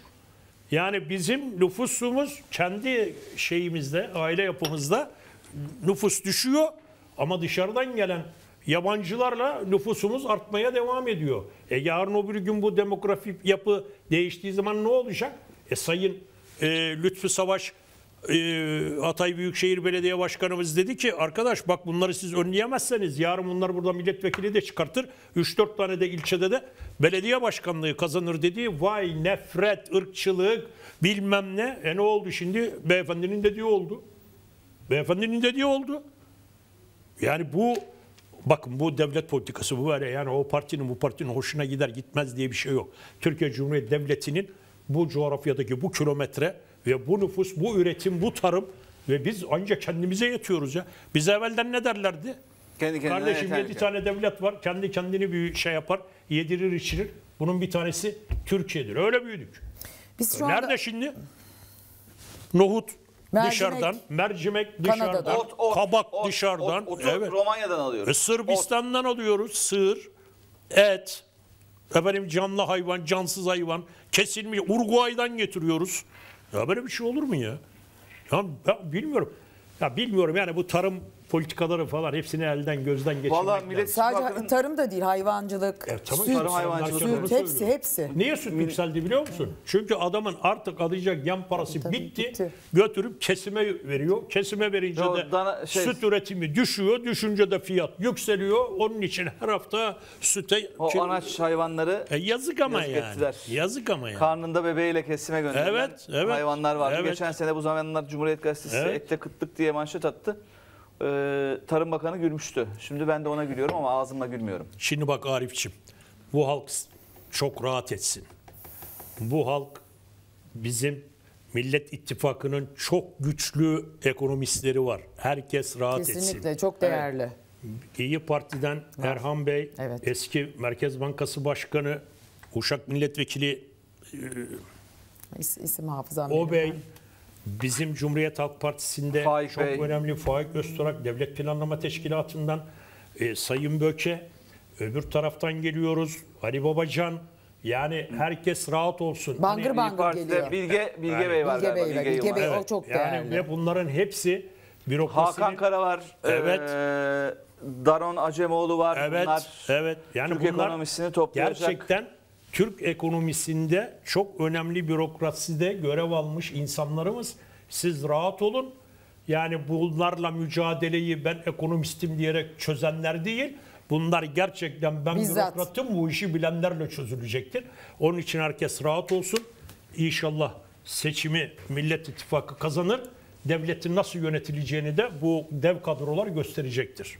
Ben buna inanıyorum. Evet, şimdi biz burada rahatlıkla e, eleştiriyoruz. Hiçbirimizin iktidarla bir bağlantısı yok. Televizyon kanalımız e, Cumhuriyet Eğitim Vakfı, Cem Vakfı'na ait. Yani e, vakfın da böyle bir para pul derdi yok. O yüzden rahat rahat konuşuyoruz. Ve fakat rahat konuşamayanlar var.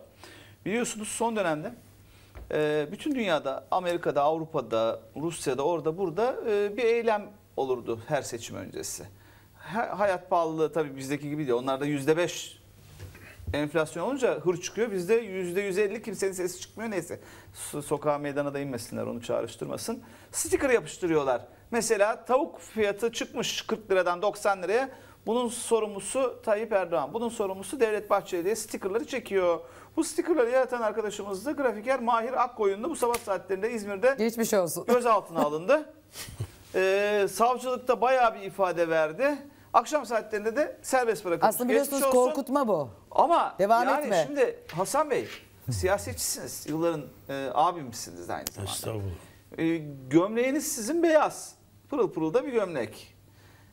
Gri mi demem lazım yani şimdi e, iktidara hoş e, gelmek için, iktidar tarafından e, dövülmemek için. Yani biz siyaha siyah, beyaza da beyaz diyen insanlarız. Beşiktaşlısınız bu konuda daha da hassas olduğunuzu biliyorum. yani şimdi bu çocuğun günahı ne bu Mahir Akkoyunlu'nun? Ya şimdi tabii Yani şimdi şu soğanı tekrar getirsinler. Hasan Bey lütfen konuşmaya devam edin. Yani 30 lira yazıyorsa ben pazarcı adama 15 lira verirsem pazarcı döver beni ya. Ya şöyle düşünün bir yemeğe Allah e, işte elimiz bakın. bol bol 2-3 Buyurun. tane soğan doğrarız. Nasıl olacak Lan nerede bu? doğruyorsun Tacize Hanım? Baksana ekrana 30 lira. 30 lira Allah'ın soğanı ya. Diyelim e, bu korku imparatorluğunu nasıl değerlendiriyorsunuz ve seçime kadar bu sürer mi? Ya ben şimdi tabii e, arkadaşlarımızın yani özellikle bizi yönetenlerin demokrasi anlayışı bu kadar. Yani biliyorsunuz Demokrasi tiyatrolar- yok zaten. Yani tiyatrolar oynandı. Onu kendilerine çektiler. E, Tarkan şarkı okudu. Onu kendilerine çektiler. Yani bu arkadaşlar her şeyden kendilerine çekiyorlar. Yani ben anlayamadım. Yani şurada iyi hatırlayın. E, Demirel'in, Ecevit'in, Hoşgörüsü. Erbakan'ın, hoşgörüsü, Özal'ın. E bir de şimdi bakın hoşgörünün H'si yok ya. Ya peki bu zaten Kelime geçmese bile çağrıştıran bir cümleden dahi soruşturma başlatılıyor. Evet. Şimdi düşünebiliyor musunuz? Bu bir ülkenin sanatçıları hangi ülkede olursa olsun bunlar zaten muhalefettir yani. Yani bunlar kurulu düzene karşı olan Hukukçular insanlardır. da öyledir. Ne yaptılar barolara? E ta- işte Aynı ikiye şey, aynı böldüler. şey, aynı e ne şey. oldu? Sonuç ne oldu? Hiçbir şey hepsi düzelecek. Hepsi Yani düzelecek. Şimdi Türkiye'de bu işleri aşıyabilmek için yani aşıyabilmemiz için 14 Mayıs seçimleri bunun start noktasıdır kardeşim. Eğer 14 standartı yani 14 Mayıs'ta bu değişim gerçekleşmezse inan olun bundan sonra baskılar daha da ağır gelebilir. Daha da ağır diyorsunuz. E tabi yani eğer siz oraya etin, tavuğun müsebbibi bu derseniz. Şimdi ben anlamıyorum. Yönetenler iyi bir şey olduğu zaman biz yaptık diyorlar. İşler kötü gittiği zaman Gıkları ne dış çıkmıyor. güç kalıyor, ne iç güç kalıyor, ne hainler kalıyor, ne bilmem neler kalıyor. Ya böyle bir şey olmaz. Arkadaş siz şu an bu geminin tepesindesiniz ya. Siz bu ülkeyi yönetiyorsunuz. Sizin burada kalkıp da iç dış, güç dış, o hain, bu bilmem ne. Ya bunlarla bir yere varamazsın. Varamadığın zaten gözüküyor. Aynayı bir kendine tutman lazım Yani artık. O zaman sorun yani niye bu kadar oldu ya dış güç? E peki bu kadar dış güç diyorsun. Geçen gün Sayın Genel Başkan'la Amerika Birleşik Devletleri e, Büyükelçisi Ankara'da oturdular. Geldi, konuştu, ziyaret etti. Ortalık ayağa kalktı. E, e ama aynı günde İbrahim e, Kalın Amerika'daydı. Yani şimdi bu nasıl bir şey ya bu? Yani bir devletin büyükelçisi o içinde yaşadığı devletin ana muhalefet lideriyle görüşmesinden doğal ne olabilir ki yani? Herkesin önünde oluyor bu. Yemek yeriz, niye yemek yediniz? Elçi gelir, niye geldi? Çünkü- Biz gideriz, niye gittiniz? Çünkü aslında şey biliyorsunuz ya? insan kendi gibi bilirmiş ya. işte tamam. Oradan Bu- kaynaklanıyor Bu aslında. artık e, zeminin kaydığını göstermektedir. Artık bunlar e, Tarihi bir dönemeçteyiz. Tabii, Hakikaten tabii, tabii. e, vatandaşlarımızın, tüm bireylerin görev alması, görev almıyorsa da o gün sandık başında gözlemci olarak lazım. bulunması lazım. Bütün bölgelerde. Evet. Şimdi yine siyaset üzerinden devam ediyoruz. Ee, İstanbul seçimlerinde İstanbul seçimleri diyoruz, yerel seçimler aslında. Ee, Cumhuriyet Halk Partisi büyük illerde, büyük şehirlerde tarih yazdı. E, tarihin en önemlisi de İstanbul'da yazıldı ama orada sandıklara sahip çıkan bir akıl vardı. Bir birliktelik, bir güç vardı. Bu gücün bir tarafında mevcut belediye başkanı Sayın Ekrem İmamoğlu.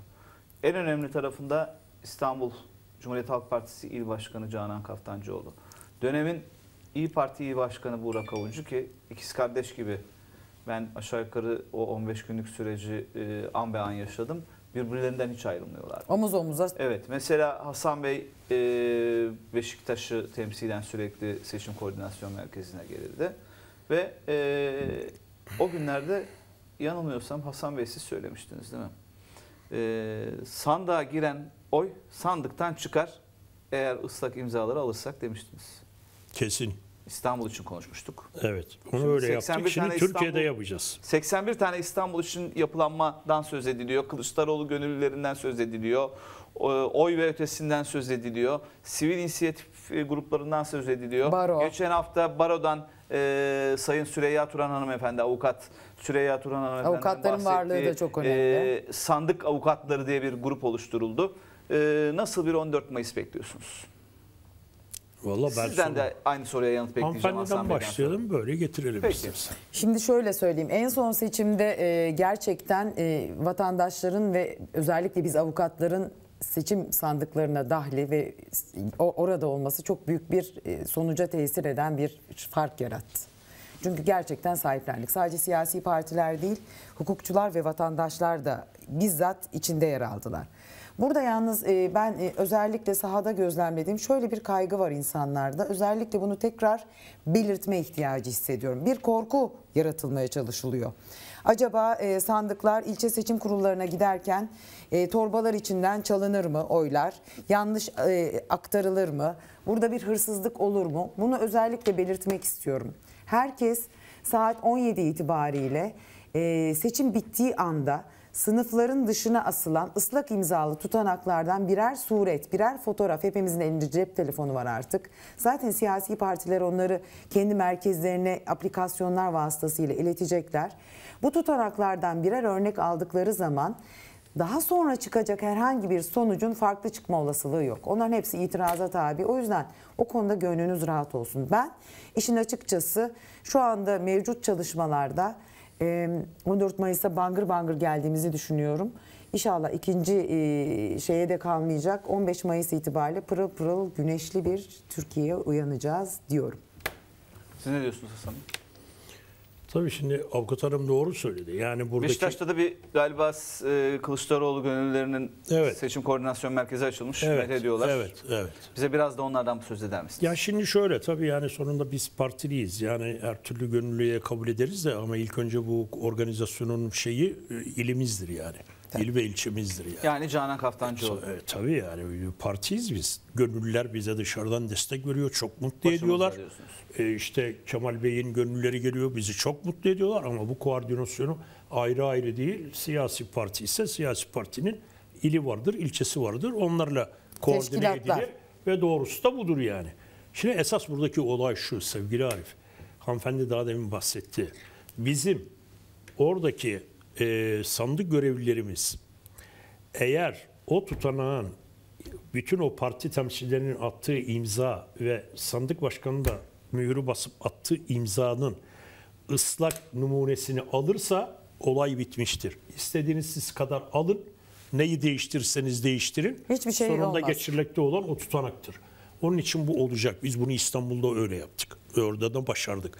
Çünkü biliyorsunuz bir ara e, şey e, Binali Bey ben kazandım diye çıktı. Binali Bey saat çıktı. altı 4 bin gibi, lirayla altı buçuk kazandık gibi dedi ben falan. Kazandım. da, o da bir algı yönetimi. Ya dur bir arkadaş nereden Tabii, tabii. kazandın? Algı yönetimi. Ama o bilmiyordu ki Beşiktaş'tan daha 120 bin Tabii. lirayın 100 bini gelmemişti. Hepsi Yani sisteme gelince yüklenmişti bitti. aynen Evet, öyle. o gece beraberdik Hasan Evet. Bey'le bölük pörçükte olsa. Evet. Ee, Kadıköy'ün e, üç- 265 bin oyu da gelmemişti. Ya şimdi kafa kafaya gidiyor eyvah Bizim falan hesaplara göre diyoruz. kazanıyoruz yani. Hasan Bey panik yapma dedi Beşiktaş geliyor. Tabii tabii tabii. Yani Beşiktaş ağır taştır geliyor dedi. Beşiktaş bir taraftan çaktı. Bir taraftan Kadıköy ki Kadıköy blok oy aşağı yukarı Orada şey de %80'in önemli değil mi. Hasan O Bey? Ee, bunu seçimi çeviren faktördü. Sürekli vurguluyoruz ama sabah erken saatte özellikle sandık görevlilerinin sandık başında olup o mühürleme kesin. işlemelerine katılmaları. Aa, o bakın. çok önemli. Dediğiniz doğru. Bakın Çünkü şimdi orada biliyorsunuz bir sürü problem yaşadık. doğru. Şimdi burada bakın o sandık görevli arkadaşlarımıza söylüyorum. O çuvaldan gelip oy pusuları ve zarflar masalara konulmadan evvel lütfen ama lütfen oy pusulasının arkasında seçim kurulunun mühürünün olması lazım. Mühür var mı, yok mu? Ve YSK'nın. Evet, YSK'nın işte onu diyorum. Eğer o mühür yoksa lütfen verin, bastırttırın. Eğer vatandaşlar geldiği zaman da lütfen oy pusulasını verirken arkasına bakın öyle verin. Asıl mevzu orada. Yani Evet, bu şöyle bir şey olacak değil mi? bravo aynen böyle. Aynen. Eğer yoksa diyecek ki bas kardeşim mühürü ben öyle arayı kullanacağım. oy pusulası yani orada bizim çünkü. partili görevli arkadaşlarımız alacak vatandaşa biliyorsunuz zarfla beraber oy pusulası veriliyor ya. O oy pusulasını bir önden bir arkadan bakacak. Mühürü varsa verecek. Mühürü yoksa seçim başkanına diyecek ki sandık başkanına lütfen Oyu değiştir. mühürlüyün. Burada vatandaş bilinci de önemli. Yani burada vatandaşlara da bunu ha- hatırlatmak Şimdi o kadar lazım. çok değişti ki Tabii, bu tabii. ayaküstü son dakikada biliyorsunuz. Son dakikada getirdi biliyorsunuz mühürsüz pusulalar Yani geçerli işte bunun diye. olduğu bir yerde hanımefendi Evet, ne çok- yapabilirsiniz çok zor, ki çok yani zor, orada çok biz zor. mühim olan işte yasanın öngördüğü neyse ona uymamız Bu sefer yani. yapamayacaklar E, inşallah. Yapamazlar yani Evet. ya böyle bir şey yok yani. Ha demokrasiyle geldiniz yani. Harıl- Demokrasi böyle bir şey. Ben diyorum ki kadınlarla geldiler, kadınlarla gidecekler. Ne Harıl- dersiniz? Evet, harıl harılda bir e, mu- muhtemelen İyi Parti tarafında da vardır. Var, var, var. Eğitim çalışması Var, var, var. sandık e, Haftada kurullarına birkaç gün ilişkin. eğitim çalışmamız var, E, evet. Mesela ben Kadıköy'dekini biliyorum. Kozi e, meclis binasında 8-10 tane biliyorsunuz salon vardır. Hepsinde sandık eğitimi var. Mesela e, şeyi sayımı yapan kişilerin yüzüklerini bile çıkarmaları rica edecek. Çünkü yüzük takılıp e, oy pusulasını hafif ucundan yırttığı anda geçersiz sayma sayılma ihtimali var. O kadar dahi Titiz, evet. inceliyorlar. Bu arada bu tabii buna niye bu kadar özen gösteriyor? Kim gösteriyor? İstanbul'da Cumhuriyet Halk Partisi adına Canan Kaftancıoğlu. Peki Canan Kaftancıoğlu'na ne oldu? Efendim Cumhuriyet Halk Partisi binası geçen gün e, korkutma amaçlı kurşunlandı. İyi Parti'nin otoyolundan İyi Parti'nin pazartesi günü binasına isabet eden e, güya inşaattan atıldığı söylenen ki nasıl artık o sihirli bir kurşun lazım. Üç gün sonra da Cumhuriyet Halk Partisi binasının önünde çat çat çat çat çat birileri saydırdı. O birileri yakalanmış Esenyurt'ta bir yerde. Arabada silah bulunmuş vesaire ama orasında değilim. Bunlar korkutma amaçlı Ama girişimlerdir. tabii ki. Ee, bunlara pabuç bırakmaması gerekiyor ki ben hani Canan Kaftancıoğlu'nu o gün ziyaret ettim. Ee, bayağı da partili vardı. Hani bu biraz evvel söylediğiniz parti bilincini de sergiliyor. Mesela Kadıköy Belediye Başkanı Şerdil Bey gelmiş, Sarıyer gelmiş, Şişli Belediye Başkanı Muammer Bey gelmiş, e, milletvekilleri gelmiş. Hani bu bir e, Birlik birlikte çok beraberlik önemli. mesajı verildi. Ee, ben hani sordum Canan Başkan ne diyorsun? Hani geçmiş olsuna geldim. Arif Bey geçti gitti hiç takılmayalım dedi. Öyle, öyle. Ee, şimdi efendim programın e, final, final sorusunu soruyorum. Vaktimiz de daraldı. 5-6 dakikamız kaldı. Bilmiyorum hatırlayacak mısınız? Ee, bu programın ilk versiyonuydu. Yine siyaset konuşuyorduk. Spordan siyasete geçmiştik. Konuğumuzdunuz. Ee, daha o zaman Sayın Kemal Kılıçdaroğlu'nun adaylığının ağası falan da yoktu. Konuşuyoruz. Hani Tayyip Erdoğan'ı kim devirir? Kim ne yapar? İşte o dönem X, Y, Z isimleri vardı. Siz Kemal Kılıçdaroğlu dediniz. Evet. Bundan iki sene evvel yaklaşık iki sene evvel ki programımızda hatta Evet. kayıtlardan da arkadaşlara rica ettim ama çıkaramadılar galiba. E, Neye inanarak e, Sayın Kemal Kılıçdaroğlu dediniz ve iki sene evvel söylediğiniz Kemal Kılıçdaroğlu bugün Tayyip Erdoğan'ı yerinden edecek yegane lider olarak gösteriliyor hem Türkiye'de hem yurt dışında. Şimdi biz tabii partimizin genel başkanının aday olması kadar normal hiçbir şey olamaz.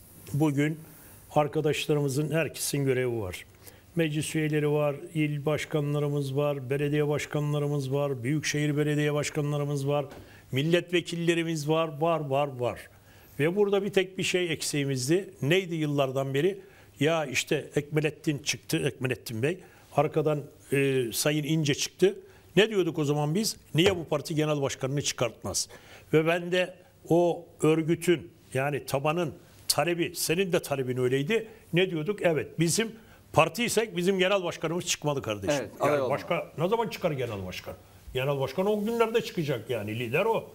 Onun için ona dayanaraktan ve Kemal Bey gibi gerçekten Türkiye'de hiç kimsenin inancıyla, hiç kimsenin etnik kökeniyle, hiç kimsenin coğrafi bölgesiyle, aile yapısıyla hiç ilgilenmeyen, herkesi kucaklayabilen, herkesi barışık bir Türkiye'de yaşatmak isteyen, devlet tecrübesi çok iyi olan bir bürokrat, devlet adamlığı çok ağır basan bir insan, kavgacı olmayan, gayet e, şey e, muhlis bir insan ve bugün artık Türkiye'de herkesin umudu Ecevit'ti. Şimdi herkesin umudu artık Sayın Kemal Kılıçdaroğlu'dur. Ve bu umut gerçekleşecektir. Buna ben kesin inanıyorum. Çünkü bu ekonomik yapının içinde bir Cumhur İttifakı'nın kazanacağına ben inanmıyorum. Çünkü işte deminden beri saydık döviz neredeydi, nereye geldi, enflasyon neredeydi, nereye geldi, millet evini geçindiremiyor, hayat bitmiş, çok ağır, çocuklar özel okuldan geri çekiliyor, maaşlar kiraların tamamen altında düşmüş, işte soğan 30 lira, patates bilmem ne lira, kiloyla alma, taneyle al, al, al, al, doğalgaz, telefon, elektrik, su hariç gelen para belli. Bu şartlar altında, bu koşullar altında Türk halkı kesinlikle ona bu günleri yaşatanları siyasette yenecektir. Ben öyle görüyorum. Çok teşekkür ediyoruz. Umut verdiniz. Ağzınıza sağlık programımıza şeref bir verdiniz. çıkmalı, ya bir şeyi unuttum ben. Tabii. Hani kentlerdeki yurttaşlarımızı söyledik. Buradan da sevgili e, tarımla ilgilenen e, memleketin efendisi köylüdür diyen Mustafa Kemal'in köylüleri o topraklarla nasıllarla bu ülkede üretimi gerçekleştiren insanlar artık bu sizin seçiminiz. Gübreyi iyi düşün, tohumu iyi düşün, motorunu iyi düşün, mazotunu iyi düşün, yaptığın üretimin karşılığını alıyor musun, almıyor musun iyi düşün. Hadi bakalım Atatürk'ün memleketin efendisi dediği köylü görevini yap. Ağzınıza sağlık. Da Öncelikle şey teşekkür kalmadı. ederiz. Fazla Ben bir şey kalmadı. ederim. Siz zaten bütün duygularınızla, ateşinizle gayet güzel hissettirdiniz bize Teşekkür bunu. ederim. Ee, devir bir olma devri. Zaten altılı masa e, farklı görüşlere, dünya görüşlerine sahip partilerin, insanların bir araya gelmesi çok da sembolik bir anlam ifade ettiriyor. E, artık bir olacağız ve hep birlikte e, 20 yıldır devam eden ataletimizin üstünden üstesinden geleceğiz. İnşallah. Teşekkür ederiz. Evet Taysar Hanım'a da teşekkür ediyoruz. Hasan Bozkurt'a çok teşekkür ediyoruz. Ee, ve programı kapıyorum efendim. 2003 yılına gidiyorum. Ee, Adalet ve Kalkınma Partisi'nin iktidara geldiği gün, günün ertesindeki gazetelerin bir tanesinin manşetini okuyacağım size. Ee, yoksulluk, yolsuzluk ve yozlaşmanın sonucu sandıktan sürpriz çıktı demiş Tayyip Erdoğan'ın kocaman bir fotoğrafı. Aradan 20 küsur yıl geçti. Yoksulluk var mı? Hasan Bey, tavan. Çok şükür. Taysar Hanım, yolsuzluk var mı? Oo en fecisi. Bilmem mi? Yozlaşma var mı? O, o, Feci. o daha feci. Tavan. Daha feci. Enflasyondan daha fazla. Daha fazla. Yoksulluk, yolsuzluk ve yozlaşma büyük ihtimalle 14 Mayıs seçimlerinde Adalet Kalkınma Partisi ve küçük ortağının sonunu getirecek. Veda edeceğiz kendilerine. Türkiye e, Millet İttifakı'yla soğanı 30 liraya, peyniri 200 liraya, eti 400 liraya, yarım kilo, sadece yarım kilocuk dolmalık biberi 25 liraya yemek zorunda kalmayacak. Yeniden esen kalın. Görüşmek üzere.